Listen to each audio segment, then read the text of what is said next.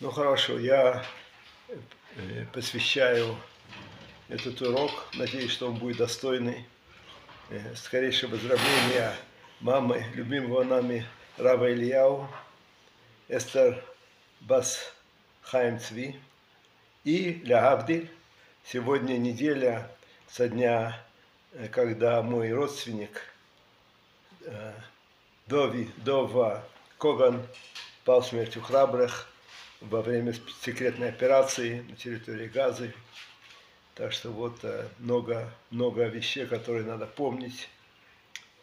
А, а вы знаете, Газа на самом деле это не Газа, а Аза. Да? И Аза это город, еврейский город. Знаете, Аза это от слова Оз, сила. Аж, как сказано у нас в псалмах, Ашем Оз лямуитен, Ашем Еварех это Бешалом. А Кадош Баруху даст народу Оз силу мужества и благословит его миром.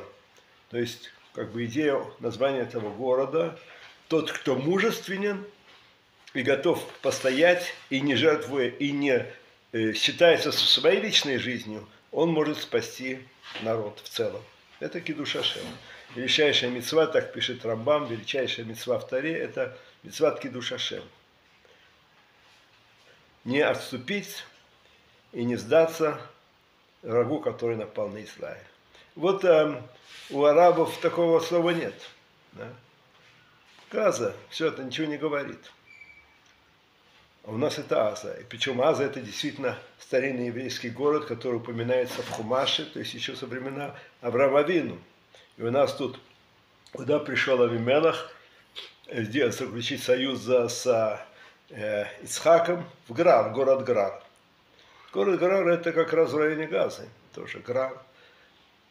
Грар, э, у меня э, моя дочка живет недалеко в Бейдекалим, то есть такой район Лахиш. Посмотрите, большинство виноградов, вкусного винограда, есть зеленый виноград, и есть э, коричневый, коричневый сладкий. Растет там в районе Бней Декалим, в районе Лахиша.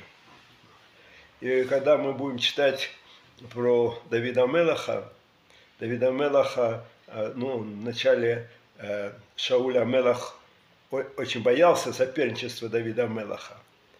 И в конечном счете Давид должен был уйти от него в город Циклаг. Ну так, это как раз мало что надо различиться. Циклаг. Циклаг это там, рядом с вот этим поселком, поселением Бней-Декалим, это Циклаг. Правда, сейчас это не раскопано еще. Вы знаете, там в этом районе Лахиша а, огромное количество таких холмов. Был на самом деле как и Тель-Авив, да, Тель – это не обычный холм, это холм, который насыпан на месте какого-то исторического города. Да. Поэтому если есть какой-то Тель, это сигнал, что там надо копать. Много есть Тель. Да. Почему назвали Тель-Авив? Потому что э, Герцель, когда он написал свое первое как бы, письмо или сочинение, манифест о создании еврейского государства, он назвал это Алт Нойштадт. Алт – это старое, то есть это Тель, Ной – это весна, Авив. Вот поэтому Тель-Авив, в отличие от... Там нету холмов, может быть, есть какие-то холмы, но в целом это единственный город, который не назван на основании того, что там есть какой-то э, какой-то город, потом постепенно, как бы в ходе истории, все-таки это ну, прошло несколько тысяч лет, и засыпал песком, песком и всякими строительными материалами можно раскопать потрясающе. Да? То есть, если кто-то интересуется археологией, очень советую, значит, можете приезжать прямо в этот район Лахиша и начинать раскопки. Там Лахиш, Лахиш сам по себе это историческое место, а Циклак, может быть, там есть какие-то остатки Давида. Давид Амелах говорит, э, когда Шауль изгоняет его, он говорит, ты меня изгнал да, э, из э, Эрц Израиль, говоря мне, иди служи другим богам. И как бы Почему он имел в виду, как бы, Шаул никогда ему не сказал, что иди служить другим богам. Наоборот, я думаю, он тоже в этом смысле был Шма Исраиль Ашем Элокей Нашем Эхад. Но когда мы знаем, когда ты живешь не пределов страны Израиля, то это, как бы, это уже и было поклонство. Потому что Акадош Бурху находится в Израиле. Вот я на одном из бритмила своих внуков там э, в э, Бейт Декалим сказал такой Двар Тура, я был Сандак, ну а Сандак должен, как вы знаете, говорить потом Двар Тура, я сказал, смотрите, мы сейчас находимся практически в цикладе, куда Давид Амелах был изгнан, и он считал, что его послали служить другим богам. Но что здесь у нас происходит? Там огромный Бейт Акнесет, это поселок, да, но там в в субботу собираются сотни молящихся, да, и в течение недели тоже, но особенно в субботу, потому что часть э, людей уезжает работать в города, в соседние города, в э, э, Кириатгад, Ашкелон, Ашдот, а в субботу все собираются, молитва, Сефер Тура читает Тору, да, естественно, Брит Мила, то есть ясно, что Кадош Баруху расширил свои пределы – так мы говорим, когда благословляем Израиль, говорит Барух, Мархив, э, Гвулот Амана. Который, тот, кто расширяет, Кадышбург расширяет пределы своего властвования. Больше уже, если бы Давида Амелаха сейчас изгнали бы туда в Циклагу, он бы не сказал, что меня э, служил, послал служить другим богам, он бы спросил, когда у вас здесь Минха, потому что там не, то, не один поселок, там много поселков. И вот очень интересно, как очень интересная иллюстрация из, вообще из истории, в частности из еврейской истории, Бней де Калим, ну если вам это что-то говорит, был такой поселок Нувей де Калим в районе Газы, да, то, что называется Гушкатив. И оттуда вы их изгнали. Вот жили там еврейские поселенцы в районе Навейдакалим. И был такой генерал Шарон, министр обороны, потом глава правительства, который сказал, что очень спас, хочет спасти значит, а, жителей, собственно, Израиля, в кавычках. Да? И из-за того, что вот а, арабы недовольны в Газе, что евреи живут там, в этих поселках, значит, надо их изгнать, и тогда будет спокойствие. Ну и мы знаем, какое началось спокойствие, которое кончилось резней 7 октября. Вот очень интересный момент, когда еврейских поселенцев, 10 тысяч человек, знаете, это вообще варварство, да, брать еврея, изгонять его из-за газа, который является территорией, как его страна Израиля. Изгонял его из страны Израиля. И э, эти жители, так называемые, знаете, Отефаса, вот это район, где была вся эта резня и погромы, Отеф это от слова Маатафа, это оболочка, окружение газы. Там кибуцы, левые кибуцы, они радовались. Они сказали, так вам и надо, поселенцы. И за вас мы страдали, да. Теперь вас не будет, и нам будет спокойно. А что получилось наоборот? И не только то, что там, когда были еврейские поселенцы, то, следовательно, было наблюдение за арабами, и они не могли так свободно э, э, как бы строить свои ракеты, подземные туннели, потому что там находилось постоянное присутствие армии а э, просто как бы они сразу стали обстреливать эти поселки. А потом, как вы знаете, из них. То есть рано радовались, да, рано радовались. Сейчас они плачут и говорят, вы нас не защитили. Знаете. Сейчас э, как бы неуместно выставлять такие претензии к ним. Вот. Но мы так в рамках своего урока, поскольку он учебный, можем сказать, а чему вы радовались? Потому что евреев изгоняет из газа, и вам будет теперь спокойно, вот вам спокойно, вот это вы хотели. Потому что понятно, что в этих поселках в районе Газы были сильные отряды самообороны.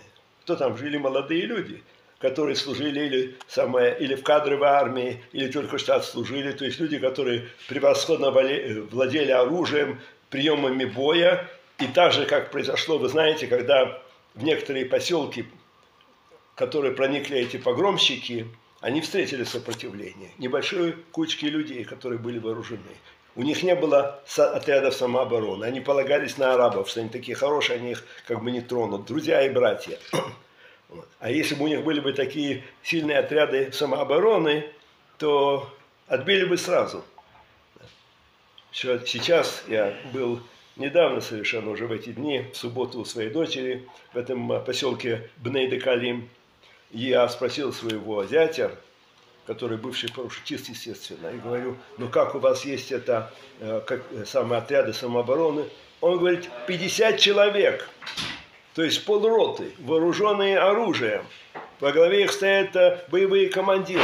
Представьте себе, если только они бы сунулись туда, не только бы им оказали отпор, их бы догнали до газа, но, как известно, до газа они не успели убежать, всех положили. это по поводу того, что Газа – это еврейский город. И действительно стоит изучать. Ну, во-первых, Газа, правда, мы встречаем в упоминании с Шимоном, великий Шимшон, вернее, Шимшон, да, который так влюбился в Далилу, а Далила на иврите – это жидкая. Да. Не от «жид», а слово, что она была такая расплывчатая, мутная, да, вроде бы любила, вроде бы не любила. Вот, и там сказал, да, Шим, Шимшон Агибор там погиб в Газе, потому что сказано в песне песней, песней сказано так. Аза кимавит ава. Аза сильная, горькая, острая, как смерть. Любовь, она так же опасна, как смерть. Ну, все, кто когда-то влюблялись, знают, насколько любовь, а, она как бы обоюдоострая. Иногда она окрыляет, а иногда она убивает, если объект любви не отвечает тебе взаимностью. Да, то ты не знаешь, куда деться, хоть бы, как у некоторых даже, не дай бог, кончали самоубийством. Аза, вот это Аза, это евреи. А у нас действительно город Аза, э, известен из истории, из современной истории, сравнительно современной истории. Что для нас современная история? Средние века – это современная история. Вот я говорю, все поют на субботу, правильно? Вы здесь в Махоне поете «Я рибон олам ве олмая, ве олмая». Ну так я немножко фальшивю. Эта песня очень известная, очень популярная. Особенно это гимн Хасидей Вижниц. Вот, Хасид Вижниц это вообще как бы. А кто ее составил, кто написал эту песню? Красивую песню. И тот, кто не знает, кто знает немножко арамид, вот те, кто учится у меня в Гимаре, знают немножко арамид, они запросто понимают слова этой песни, она написана на арамите. А, Рав Исраиль Наджара, да, как знаете, здесь у нас улица Рав Исраиль Наджара, а это был главный раввин города Газы в 16 веке. То есть евреи жили тогда в Газе. Причем так, известно очень много не, не, не одну песню составил, много песен, которые мы поем. А, знаете, есть такие песенники хорошие, в которых указаны имена авторов. Вот не все такие есть песни, такие песенники халтурные, а есть, которые указаны, читаешь, он был, вообще это шло рядом, да, поэзия и вера, да, и тара. Интересно, да?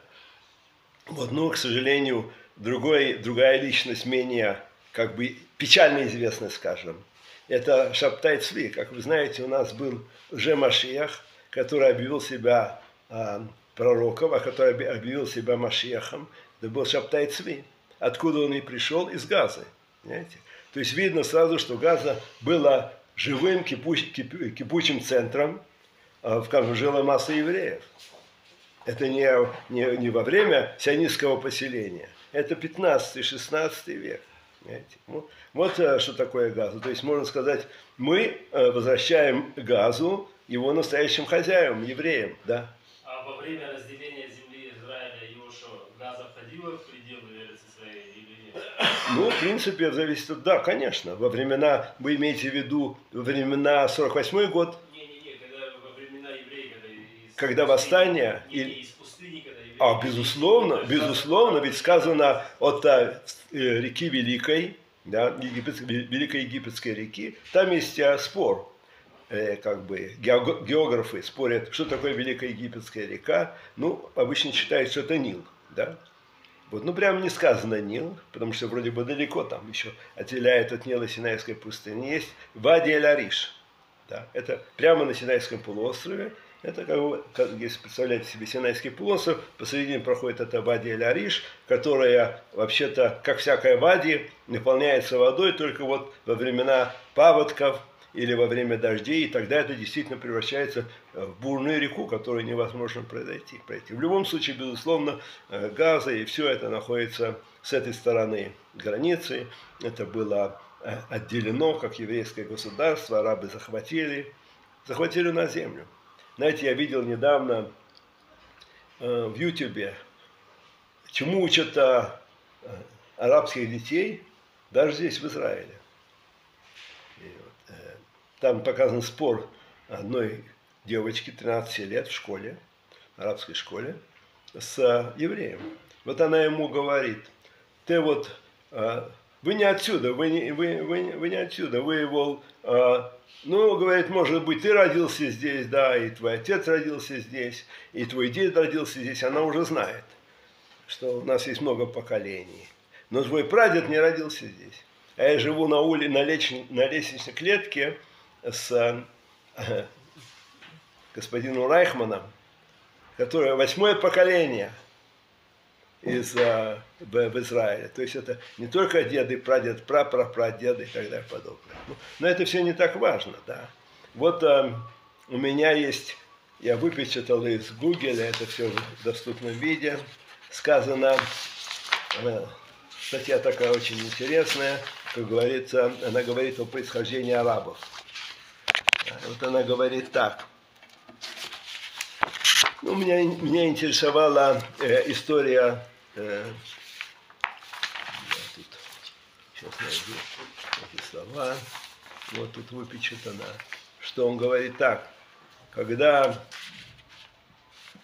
когда, знаете, кто помнит, когда э, э, арабы пришли в э, Иерусалим, тысяча э, в 648 году. В 48 году это легко запомнить, поскольку это год независимости, 1948, э, а они, значит, 1300 лет до этого, вот как будто бы хотят сказать, что поскольку а, э, Ишмаэль сделал Брит Мила в возрасте 13 лет, поэтому им 13 на 100, получается 1300, вот это время, когда они владели заслугу того Бритмила, не знаю, в любом случае легко запомнить эту дату, в 648 году.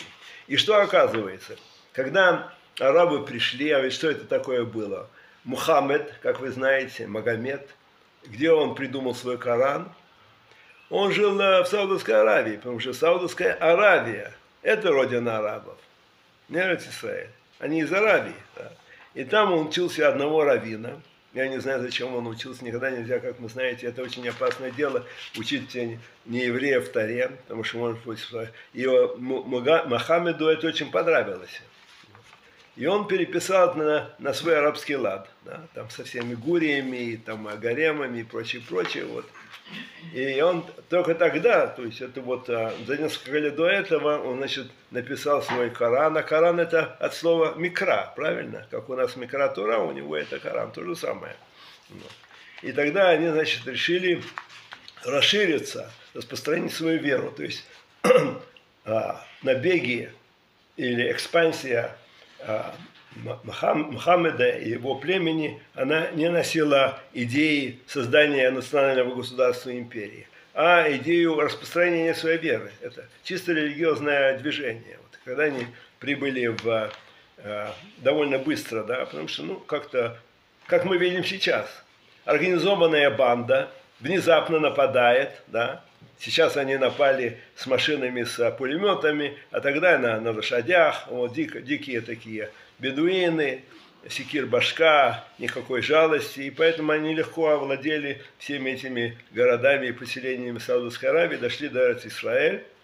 Э, и написано, в их истории упоминается, а тот, кто захватил Эрет Исраэль, ну, Магомед к тому времени умер, а его наместник это был Умар, кто встречает Амара в Иерусалиме? Евреи. Это исторический факт.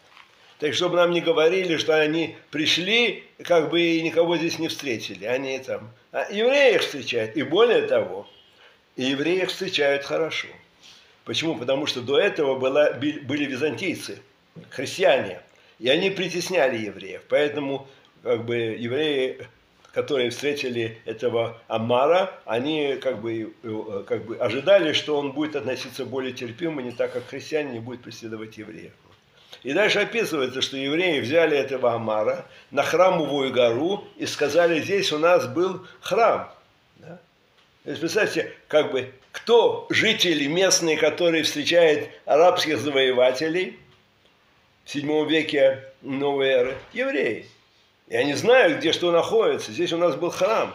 А почему? Потому что, очевидно, всегда мы знали, что там был храм. Храм Шлому Амелаха. Да? И там сказано, да, пришел он, и он понял, что это святое место, и он сказал, надо построить какую-то конструкцию, чтобы охранять это свое место. Поэтому он называется а, у них называется Аль-Харам. Да, Аль-Харам, а Харам по-русски называется храм. Мы говорим храм, Божий храм, и все на самом деле храм на иврите означает запрещенное место. Но оно может быть запрещено из-за того, что это проклятое место или священное место. Да, это то же самое. Храм херем, от слова херем – проклятие. Да? Проклятие, когда вот, ну, в иврите это имеет единственное значение, а у них это имеется в смысле, будет тот проклят, который зайдет на это место, потому что оно святое, как мы знаем и сейчас, нельзя подниматься на это место, потому что Кадуш Бурху запретил, только куани могут туда идти. Понимаете? Насколько это все нам понятно, и известно и близко, арабы у нас учатся, где что находится. Да как они могут вообще претендовать на то, что они пришли в пустую страну, никого здесь не встретили, они не виноваты. Я вот тоже встретил, э, видел такую запись, но это было много лет назад, когда, ну и сейчас тоже наш земляк из Кишинева, правда, на самом деле он не из Кишинева, он из какого-то там поселка рядом с Кишиневым. Как называется этот поселок? Не знаете? Есть Аргей. Да, да, как? Аргей. Аргея, из Аргеева, да. Ну и городок. Большой такой. поселок, как сам город. Да, городок, да.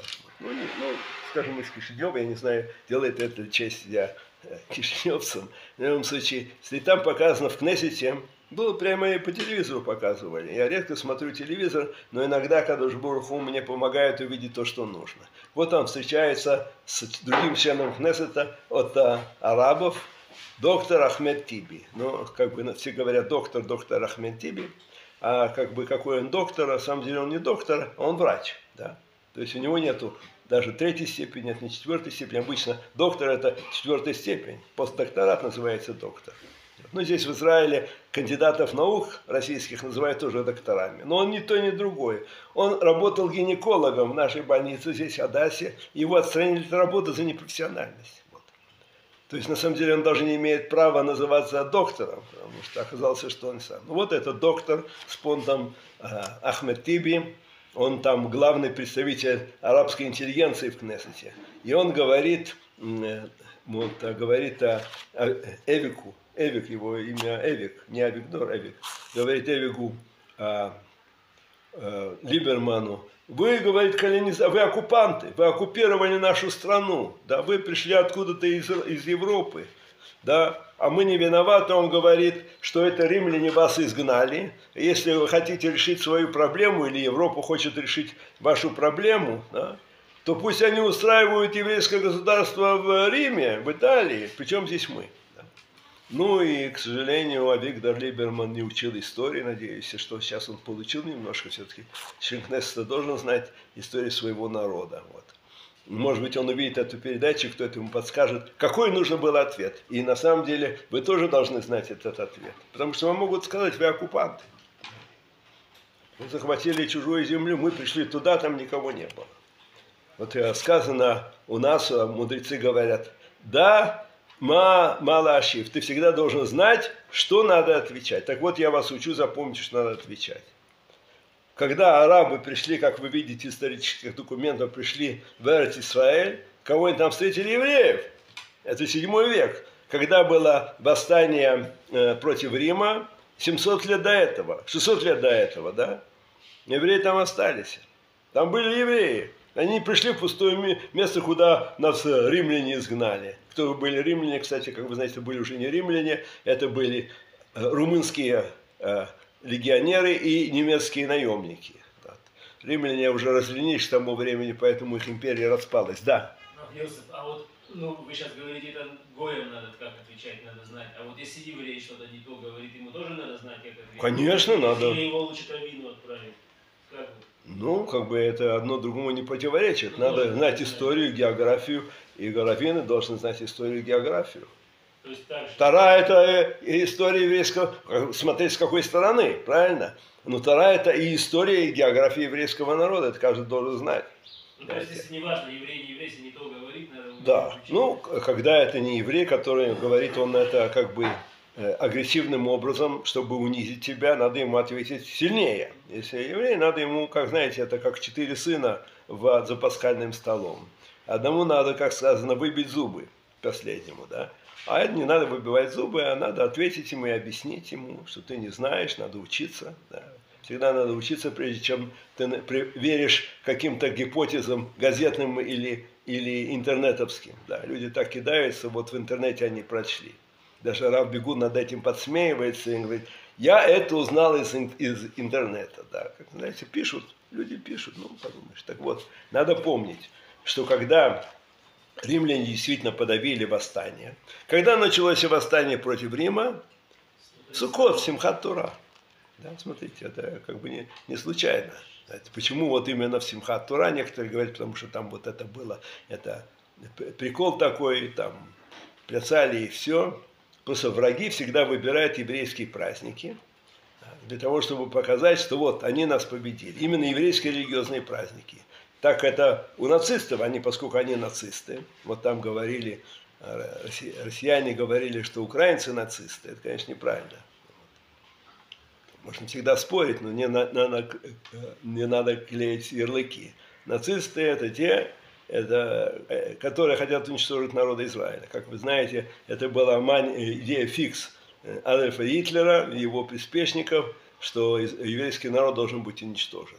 Но как бы русские не говорят, что украинцы это евреи, евреи не говорят, украинцы не говорят, что русские это евреи, просто это неприменимо, да, такие ярлыки. А здесь они действительно нацисты, как мы видим, задача, единственная задача вот этих хамасовцев – которые как бы поставили своей целью освобождение Палестины, ну мы думаем, скажем так, освобождение Палестины для того, чтобы создать свое независимое государство. Освобождение Палестины от евреев, убить их всех, зарезать, да, вот их освобождение. Так же, как и Гитлер хотел освободить Германию или Европу от евреев. Каким образом освободить? Убить, зарезать.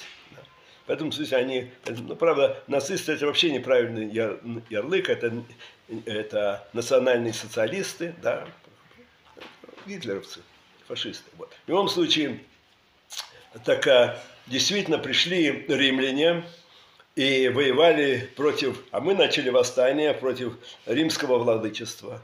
Евреи – единственный народ в мире, который посмел, да, это была Римская империя великая, а. там на территории Израиля находились а, десятки тысяч вооруженных легионеров, посмели и выступили и восстали. Сукот, Сукот Симхат Тора, забросали их этрогами для начала. Потом оказалось, что это недостаточно, нужно иметь э, не только мечи железные, но еще иметь военную организацию. Этого, к сожалению, у нас в то время не было. Сейчас мы видим, что все работает очень сложно. Сложено, да? Есть армия, есть министерство, есть начальник генерального штаба, есть министр обороны, который прекрасно понимает в военных действиях. Это один из э, Э, причин победы, это то, что все очень сложно. Вот э, мой, один из моих сыновей, который там находится в этом роде, он говорит поразительно, он говорит, насколько работают четко, как по часам. Да.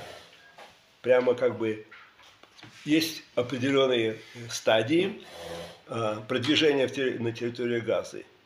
И пока как бы не кончат все эти стадии, не продвигаются. И продвигаются очень осторожно, но медленно и верно. В любом случае, римляне, да, действительно, изгнали кого они изгнали? Руководителя восстания, воюющих. Же в Израиле, по свидетельству еврея, римского историка Йосифа Флавиуса, он же Йосеф Матитьяу, потомок Маковеев, скоро мы отмечаем Хануку, написал целую книгу «Идейская война». И он пишет, что в Израиле к тому времени было несколько миллионов человек. Да сейчас даже, знаете, современный какой-нибудь э, насильник не может изгнать так много людей. Да, у них не было ни транспорта, ничего, они могли сказать. Их знали э, людей, которые были схвачены с оружием в руках, да, которые оказались в сопротивлении. Сколько их было? Скажем, было 10 тысяч, 20 тысяч, 30 тысяч, там жили миллионы. Все они остались там. Римляне, как бы по большому счету, э, не знали евреев. Евреи стали уходить оттуда, потому что, как вы знаете, особенно когда в 325 году э, Елена Прекрасная, уродливая, мама императора Константина, была проникнута э, с понтом еврейской веры в, в Иисуса и стали евреев притеснять. С 325 года стали евреев притеснять, не было возможности там жить. Да? Поэтому уходили через э, горы, через голландские высоты, уходили в Вавилон, самое близкое место. Галиль, Вавилон. То есть до, до, до 4 века практически э, было еврейское население. 4 век. Теперь После этого по-прежнему евреи там находились. Вот, вот мы видим из исторического документа, что встречает арабских захватчиков, да, евреи, которые им говорят, где что находится.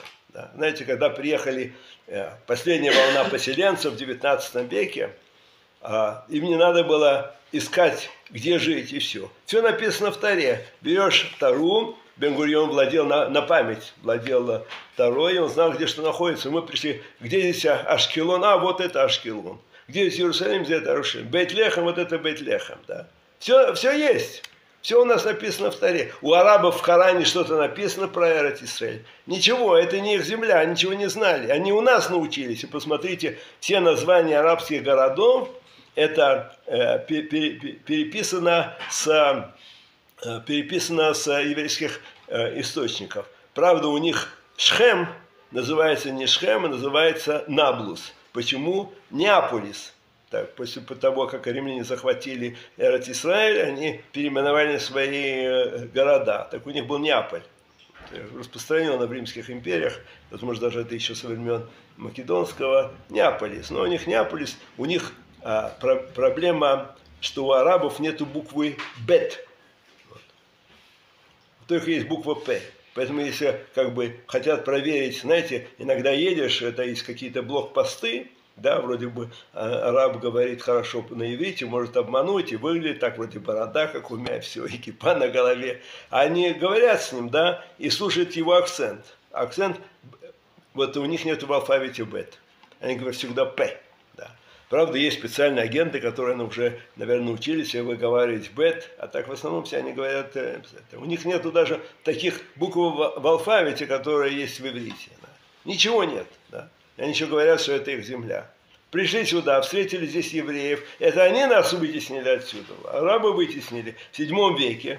Особенно вначале они вели такую политику, потому что они пришли в чужую страну, они искали какое-то самое э, модус вивендиум, ужиться с э, христианами, с евреями, да, поэтому они вели такую как бы сбалансированную позицию. А поскольку приходили новые орды из Саудовской Аравии, постепенно они как бы превратились в большинство и стали притеснять евреев. Так что надо было ему сказать э, этому доктору Ахмеду Тиби, это римляне нас выселили, эти вы арабы, вы захватили э, Эрец Исраиль, захватили э, в седьмом веке э, страну, страну, нашу страну Израиль, нашли там евреев и стали их притеснять. Да? Поэтому совершенно естественно, что мы, когда мы вернулись, мы создаем там свою страну. Это надо знать, да, отвечать. И по поводу того, что я говорю, у них все их названия городов скопированы с наших городов. Иерушалаем у них есть, они называют это Эль-Куц, Иркод, Иракодыш. Почему, когда они стали э, называть это Иракодыш, Эль-Куц, сравнительно недавно, потому что до этого, ну, скажем, до 1917 года это вообще не было никакое ни государство Палестины, никакое не арабское государство. Это была э, Атаманская империя, турки там жили, да. Это было под властью турков. И поэтому там у них, посмотрите, административное деление э, Атаманской империи, нет у них даже такого района, который называется Эрцисраэль. Это у них называется часть Сирии. Эрцисраэль была часть Сирии, потому что Эрцисраэль была бесплодная страна, там ничего не было. В Сирии что-то было, поэтому центром был Дамаск, Дамешек. У нас есть, как мы знаете, в истории Лезер Дамешек, да? Который как бы, э, которого послал Авраам Авину найти жену для Ицхака. Это Дамешек. Мы знаем, где Дамешек находится. Да? И вот, значит, э, э, это исторически известный факт. С трудом ты найдешь на карте мусульманского государства, Атаманской империи, упоминание о Иерусалиме, потому что столица это Дамешек, это Вилает, э, э, Вилает Сирии. Представляете, насколько, насколько это у них было сейчас, когда они говорят, что это их столица, это все, это все бред. Да? То есть просто поражаешься, как люди могут придумать какую-то мантру, у них это называется нарратив, да? рассказ, басню, и они в это верят. Да? То есть, как бы можно сказать, что с самого начала их претензии и их ненависть построена на, на ложной информации. Это очень интересный исторический факт. Они ничего не знают, есть на самом деле надо было их взять и обучить сперва, сперва истории. Я видел пропагандистский фильм, который тоже показывает детям в арабских школах, как вот у них цветущие города, Тель-Авив, да, Аждод, Ашкелон, и наезжает израильский бульдозер и разрушает это красивые дома и пальмы, и все, вот они у нас забрали, они... да там ничего не было, знаете, там ничего не было, это были пустые жалкие арабские деревни. Так что я как бы, правда, сейчас это уже бесполезно. А как бы на самом деле, как, я, как это уже было показано, и то, что поразило жителей вот этих а, окружающих кибуцов, борцов за свободу Палестины. Знаете, кого они убили первым? Есть такая Вивиан э, Сильбер из Канады – уби... Э, она была э, руководителем движения «Женщины за свободу Палестины». Представьте себе. Они ее убили первой. То есть даже не нашли, наверное, ее расчленили еще, потому что только сейчас нашли, искали ее, куда она делась. Возможно, ее они как бы, не знаю, борец за свободу Палестины, так оказали какие-то особые условия, в гостиницу посетили, ничего подобного. Разрубили на куски, ничего не осталось. Почему они ее ненавидят? Потому что она внушает арабам, что можно с евреями жить мирно. В принципе, это можно, это правильно, но она слишком преувеличивает. Арабам, когда даешь волю, вот это их мир. Убить, изнасиловать, сжечь, уничтожить. Тогда они готовы жить в мире на нашей земле. Поэтому это как бы, поэтому э, рассказывать им, я говорю, с одной стороны, казалось бы, они живут просто, можно поразительно. Целая нация живет на базе фальшивых историй совершенно фальшивых. Да. И, казалось бы, правильно это начать их образование, обучить им самым элементарным истинам, которые учат в любом высшем учебном заведении во всем мире. В Оксфорде, в Кембридже, в, Берк, Беркли, где хотите. Все знают прекрасно, что Авраам Авину пришел в Эрец Исраэль, да, это доказано, и, кстати, археологическими раскопками, да, вот этот Марат Махпила, Хеврон и все. У них нету Хеврона, у них Аль-Джалиль, или как это называется, да. У нас почему называется Хеврон?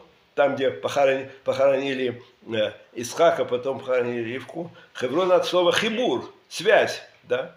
Это связь э, между, как место, которое э, Эрет Шахибра Кулам Яхат, объединяет всех вместе. От слова хибур, связь. Хавер, да, Коль Исраэль Хаверим. А у нас, у них, у арабов нет такого слова вообще. Хавер. Все, то есть пришли безграмотные дикие люди, да, ограбили, убили, изгнали нас из нашей земли, и сейчас они имеют наглость утверждать, что они коренные жители, а мы оккупанты. Понимаете?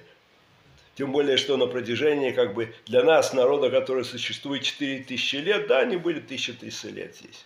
Были здесь. Ничего не с этой землей не сделали. Как-то Черчилль, известный, как вы знаете, английский философ,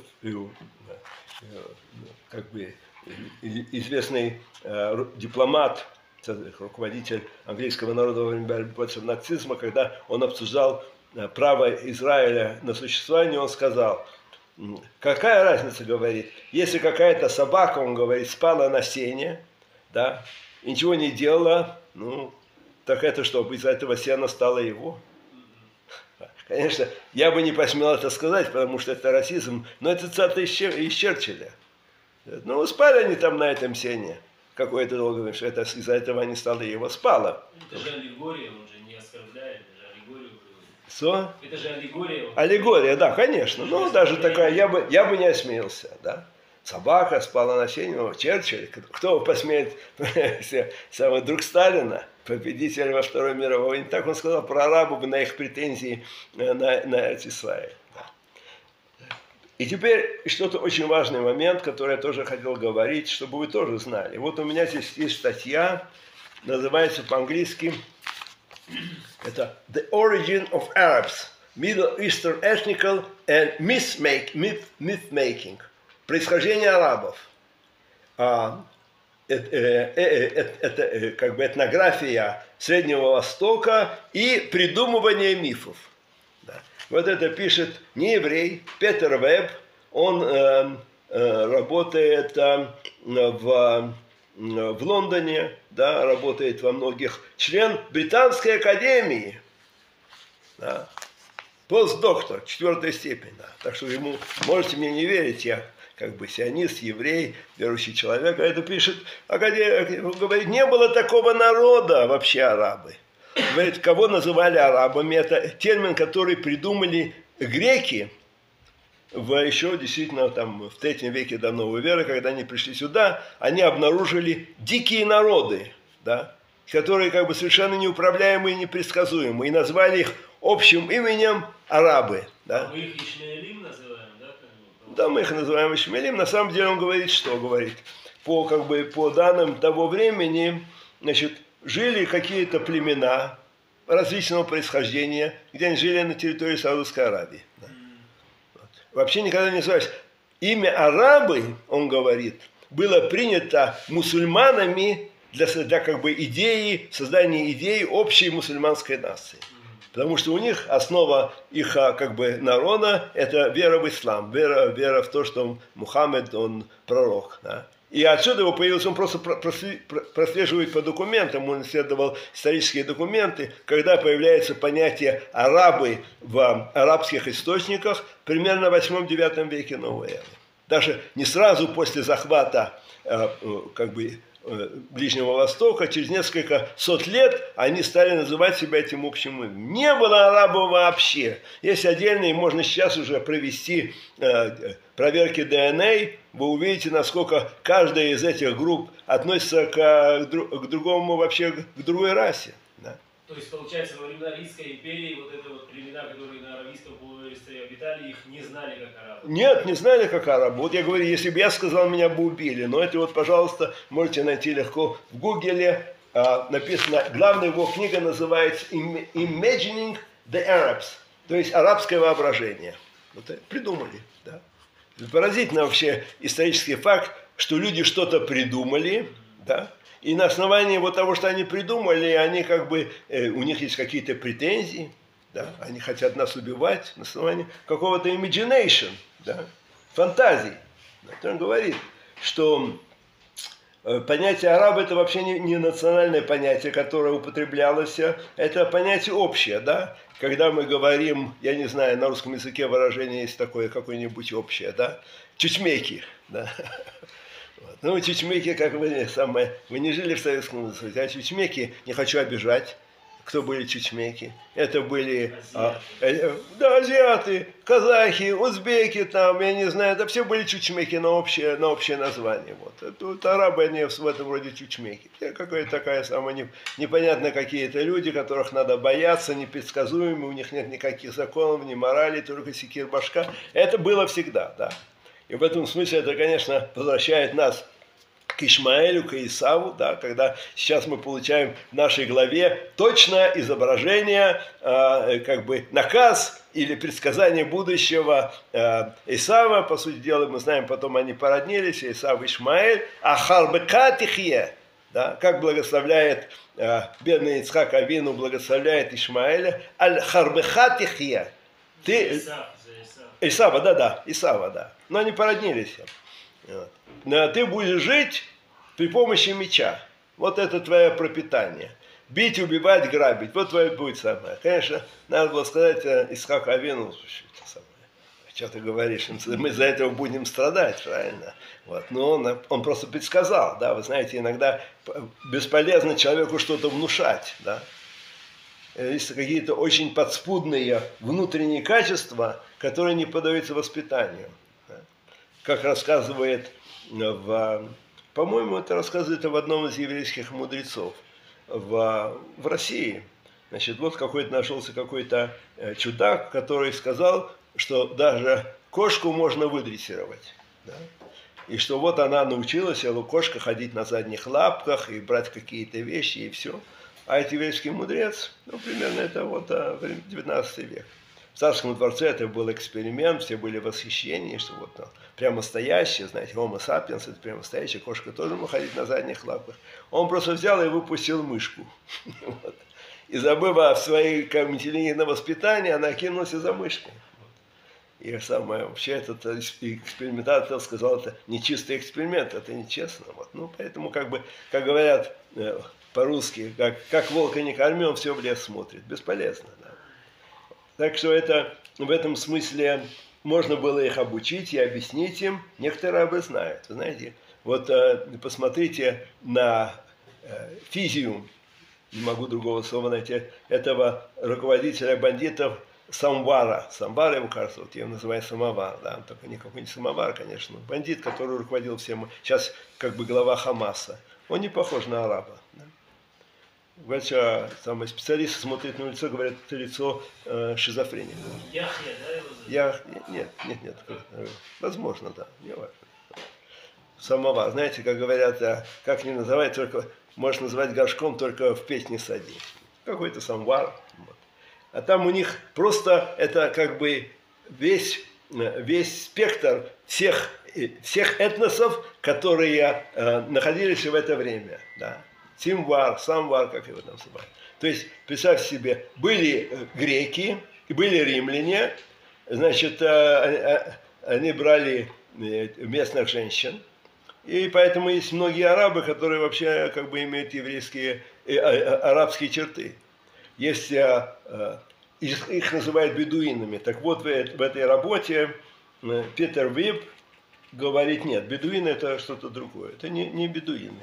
Арабы, общее понятие арабов, это кочевые, различные кочевые племена. Возможно, среди них есть бедуины, но это не бедуины, потому что вот эти племена, они жили более оседной жизнью в Саудовской Аравии, у них были какие-то, как Мекка, Медина и прочее другое, такие, а, как бы там они, как, как они э, жили. Вы знаете, между прочим, мы сейчас скоро будем отмечать праздник Ханука, так вот, с чего, начался военные, с чего начались военные подвиги Мухаммеда, что он э, осадил еврейский город в, в, Аравии.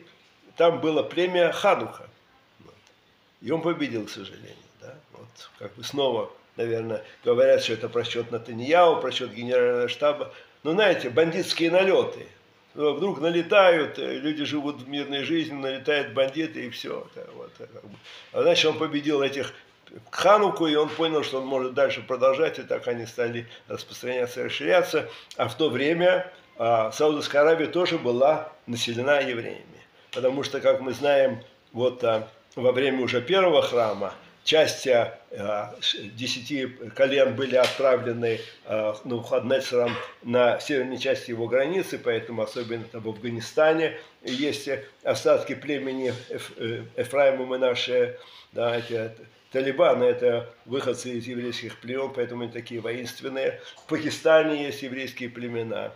А в Афганистане вообще говорят, что просто как бы жили рядом евреи и вот эти племена Ефраим и Монаши, они знали, что они как бы, что они э, происходят от общего народа. Но часть была, э, сбежала, особенно во время Римской империи, и потом, когда арабы напали, переселилась в, э, на Саудовской Аравии. Настолько, что на, в Саудовской Аравии а, было еврейское государство, которое создал а, э, какой-то как бы, житель этого района, который принял еврейство, Йосеф Зунаваса. И он там воевал успешно, но он был разгромлен византийцами. То есть это примерно в то же самое время, когда э, мы, мы читаем про Хазарское царство. Да? Хазарское царство это начало VII века, и так это до X века. Так в это же время было крупное еврейское государство в, вот, на, на Саудовской Аравии. Евреи там жили, да. Евреи там жили, с кем, с кем общался э, Мухаммед, у кого он учился, с кем он воевал с евреями. Да. Как говорили, есть такая песня, евреи, все евреи, кругом одни евреи. Так вот это, это верно, да. Куда не слышишь, они еще говорят, что они вообще как бы пришли вдруг какие-то евреи, не знаю откуда, и говорят, что это их земля. Да это вы пришли, арабы, на нашу землю. Это исторически показано. Да, вы ничего не знали здесь. Мы вас обучили, сказали, здесь храмовая гора, здесь Ицхак. Вот они, знаете, у них такая нарратив, снова это мифология арабская, что как будто это был не э, Ицхак, а это был э, Ишмаэль, которого Ибрагим хотел принести в жертву. Возможно, даже жалко, что не до конца не дорезал. Вот. Так, вот это, это их все украли у нас. Невероятно, да? Да, плагиат, чистый плагиат литературный, за это есть самое, это копирайт. Украли у нас копирайт, придумали, понимаете, невероятно. Это, говорится, действительно какая, какой-то народ, с такой живой фантазией, да, но, к сожалению, эта фантазия идет в другие места. Да, и придумывают, что-то фантазируют, и на основании этого предъявляют требования, все. Самое поразительное, конечно, что э, в других, э, другие народы их поддерживают. Вы знаете, Организация Объединенных Наций принимает всякого рода решения и резолюции против Израиля. Почему на это, на это э, дают наши мудрецы очень простой ответ. Они, все, все враги Израиля – это Амалек. Как говорится, так уже сказано, Амалек – это э, как бы, почему надо помнить, что сделал тебе Амалек, потому что иногда нет точной идентификации, где здесь находится Амалек. Поэтому наши мудрецы уже давно сказали, что все антисемиты, типа Гитлера, типа этого Симбара и всех этих палестинцев, это есть Амалек. Амалек это понятие собирательное, это не этническое понятие. Там они все Амалеки. И вы знаете, что я как-то получилось у меня, мы с женой э, я уже не помню по какой причине, были в Швейцарии. Недавно сравнительно. Вот моя жена говорит по-французски, она из Парижа. Ехали в поезде, и там была это как-то женщина немолодая. Она говорит, э, разговорились по-французски, и все, и она говорит, а вы где живете, там, в Тюрихе или все? Мне жена говорит, мы живем в Иерусалиме. А, вы Иерусалим, вы евреи, да? А, как здорово, как это приятно, знаете, всегда начинает потом. Э, я, моя жена спрашивает ее, а скажите, а вот э, что вы думаете вот о всем этом ближневосточном конфликте? Она говорит, когда мой отец был еще жив, и тогда это было решение создания государства Израиль, а, а мой папа говорил, мы слишком много дали этим евреям. Понимаете? Они нам дали, да. Они, они тоже построены как бы на, полном непонятии. Да мы воевали здесь в 48-м, да еще до этого, в подпольной армии, воевали, победили. Они хотели нас уничтожить, ничего они нам не давали. Если бы мы ждали от а, швейцарцев или еще от кого-то милости, ничего кроме, может быть, а, как говорят, палаток для перемещенных лиц и одеял, чтобы прикрываться мы от них не получили. Сами взяли, и всегда, и всегда все это. Представьте себе. И моя жена вспоминает, очень интересный момент – она была маленькой девочкой во время войны 67 года и жила в Париже, там как бы в окружении а, неевреев, дружила. Он говорит, там э, были, были у нее подруги на улице, знаете, как на дворике играют там со всякими подружками. Вот. А когда как бы в преддверии 60, войны 67 года э, была такая ситуация. Э, арабы закрыли доступ Израиля в Красное море объявили блокаду. Да? То есть э, у нас торговля через Красное море с э, Африкой, с Индией, все, значит, это самое объявили блокаду, и в, потянули войска, потребовали от миротворцев Организации Объединенных Наций отвести войска, которые э, э, создавали кордон на границе вот как раз в районе Газа и прочее, да, там было специальное решение Организации Объединенных Наций, находились войска для того, чтобы не допустить прямого столкновения между Египтом и Израилем. И вдруг э, египетский диктатор Гамель Абдель Насар потребовал от э, э, войск Организации Объединенных Наций отвести свои войска. Да. Казалось бы, кто такой он, и это Организация Объединенных Наций, международная организация, такие решения принимаются. Ничего подобного. Они сразу отвели бы свои войска. И танки, советские танки, да, там было Т-34 и другие, они встали прямо на границах Израиля. Понятно все, что как бы собираются уничтожить. Вот. И в этих условиях, так моя жена, одна из ее подружек сказала ей, не, француженка, ты знаешь, сейчас будет уничтожен Израиль, и вас, всех евреев, э, пошлют в концлагеря и будут убивать. Представляете себе? То есть это как бы у них было связано, казалось, ну, мы же живем во Франции, знаете, э, люди в любой стране, как евреи в России, так евреи во Франции выглядят как французы, говорят на французском языке, и все нет. Мы вас всех будут сейчас уничтожать. Но тебя, говорит эта девочка, маленькая девочка, сколько ей было, 7-6 лет, я тебя спасу, я тебя спасу. Да. Я, моя подруга, я тебя не трону. То есть был ужас у евреев Франции – то время, как и сейчас тоже, я, я слышу про Америку, сейчас поговорим об этом, было, как они понимали, что если будет уничтожен Израиль, будет а, уничтожение евреев во всем мире. И так сказал, интересно, президент Байден во время своего первого визита, ну вот недавнего визита э, после всей этой самой теракции, как вы помните, он был здесь в Израиле, он сказал, мы знаем, что судьба евреев всего мира зависит от существования государства Израиль. Не будет государства Израиль, ваше существование будет под большой опасностью. Поэтому мы, защищая Израиль, защищаем и евреев во всем мире. Правильно очень сказал? Да. Очень правильно и правильно понял. И вы знаете, у меня дочка сейчас находится в Шлихуте, в, под, под Нью-Йорком. Она говорит, евреи снимают мезузы со своих домов. Потому что такой антисемитизм сильный, и понимают, что если, не дай бог, что-то произойдет в Израиле, начнутся погромы в Америке. Можно бить, да? Это интересно. Да? Какая связь? Она рассказывает, тоже моя жена во время 67 -го года, у них, говорит, был такой французский дяденька, дедушка, очень любила, любила, жена, зовут ее Катя, Катрин, французская девочка, все. Он ее любил, она ходила играться и всему. И он, этот вот дяденька, дедушка, пришел к отцу моей жены и говорит, ты знаешь, скоро всех евреев будут убивать. Да. Отдай мне Катю, я ее люблю, она сама я ее спасу. А отец говорит с понтом, да, ну, вроде такая, как бы, спаси уже, у меня есть еще дети. Мне говорит, я вот ее люблю, я ее спасу. Насколько, казалось бы, добрый дедушка такой, вот, любит, вот, эту девочку, она похожа на француженка, такая миленькая девочка, превосходно, а все остальные пусть убивают, какая ему разница. Вот это как бы, это не амалеки, от них мы ожидаем какого-то понимания, какого-то соображения. Смотрите, насколько важно, э, как, как э, я думаю, это был канадский э, премьер-министр недавно, который сказал, что это как бы безобразие, а евреи снова убивают детей и женщин, и все. Вот это, это было гитлеровский навет. Всегда они говорили, что евреи, они ставят под угрозу весь мир. Из-за чего они ставят под угрозу все мир? Потому что они существуют. Самим, сам, самим фактом существования мы ставим под угрозу все. все. По-немецки это называлось «фербрехер», да, преступники.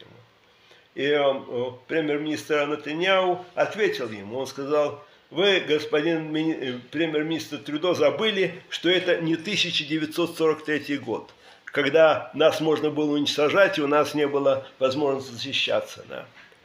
А сейчас мы защищаемся. И говорит, Э, вы неправильно говорите, что есть какие-то как бы беспорядки, и, вы, и Израиль пользуется э, как бы оружием для подавления этих беспорядков. Это война на уничтожение. Ведут, весь мир стал против нас, ведет борьбу на уничтожение. Так что это право говорить, когда вы бомбили страны, как вы, страны Антанты, США, Англия, Франция и другие страны во, во, во время войны в 1944-1945 году, как вы знаете, была бомбардировка э, немецких городов. Видели фотографии? Посмотрите, Дрезден и Лейпциг. Да?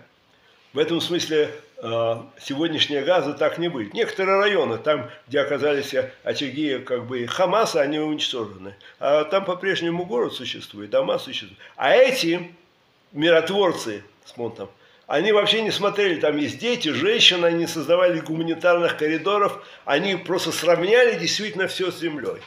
Ну, у них было тысяча самолетов, так рассказывают немцы, которые там прятались от этих налетов, говорят, это было что-то страшное. В течение дня были, шли волнами, тысяча самолетов, пролетает и сбрасывает бомбы, возвращается снова, снова возвращается. Понимаете? Вот. Тогда они не понимали, они говорили, конечно, нацизм это, это как бы опасность для, для всего мира. Говорит им а, Натаньяу, а арабы это не опасность для всего мира.